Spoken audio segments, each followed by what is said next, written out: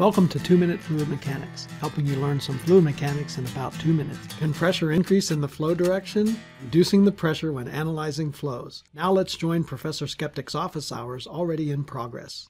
Professor, can I ask a May you ask? sorry, may I ask a question about last week's exam? Which question? Well, question three. You showed us a diverging duct, and you asked if the pressure at the entrance is higher or lower than that at the exit. Obviously, it is lower. Well, I said the pressure at the entrance was higher. Otherwise, wouldn't the flow go the opposite way? Yeah, I did the same thing, man. M- me too. Can you explain it, please? I'll share my screen.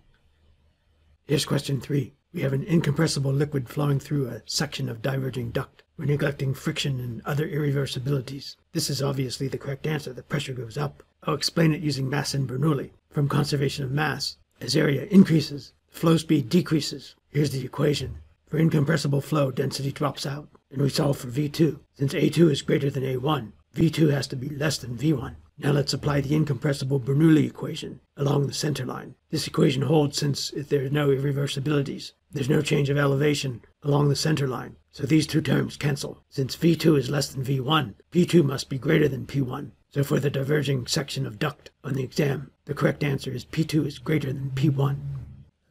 How can the flow go downstream if the pressure upstream is lower?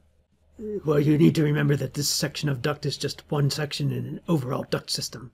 I'll show you. Suppose the whole duct looks like this. If the flow is driven by a high pressure tank, we have approximately stagnation conditions here. This is what drives the flow. But in each section, pressure can go up or down. In the converging part, velocity goes up, pressure goes down. In the diverging part, velocity goes down and pressure goes up. This part's also converging. The bottom line is that as speed increases, pressure decreases. And as speed decreases, pressure increases.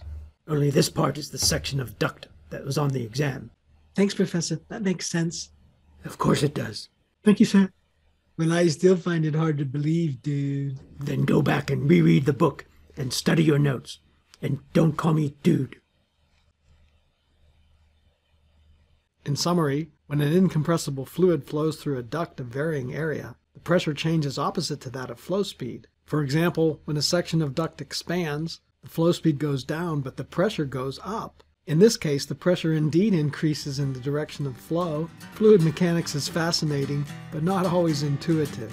Thank you for watching this video. Please subscribe to my YouTube channel for more videos.